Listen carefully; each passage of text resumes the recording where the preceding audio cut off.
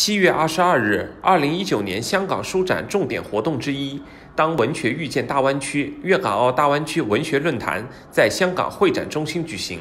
邱树红、谢有顺、吴志良、徐子东与周洁如等五名来自香港、澳门和广东的文学专家齐聚一堂。他们均表示，大湾区未来要加强文学等文化领域的交流，加强文化深层次合作。广东中山大学中文系教授谢有顺建议。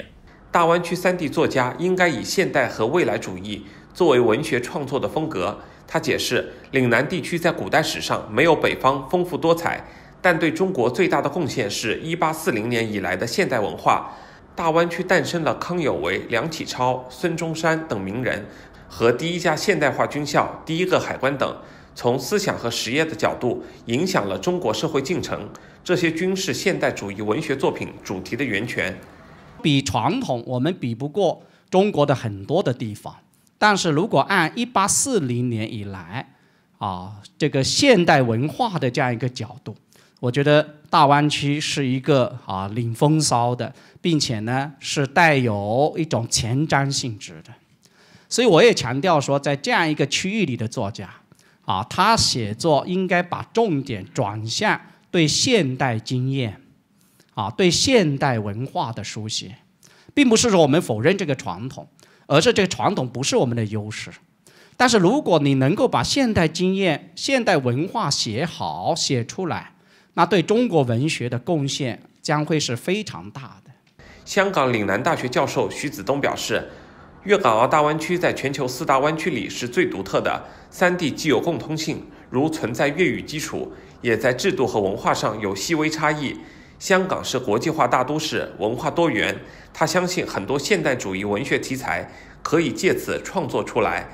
它的主流是现代主义，它是两岸三地唯一一个地方以现代主义的创作为主要潮流的。从五十年代开始，它在现代主义方面比台湾、比内地都发展的都好，所以它的技巧方面，它的小说技巧方面是一流的。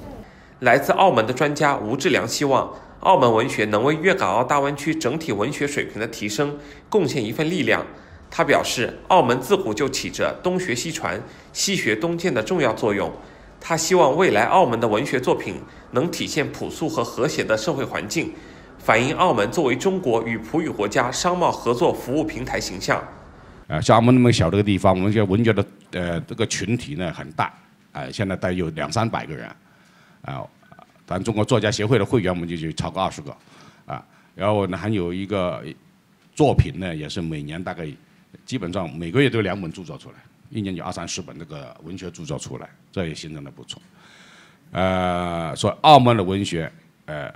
呃，我们现在走的方向呢，就怎么融入整个呃中华文学，成为中华文学重要的一员。活动的最后，广东省中山市政协主席邱树红建议成立粤港澳大湾区写作协会，促进三地文学界交流。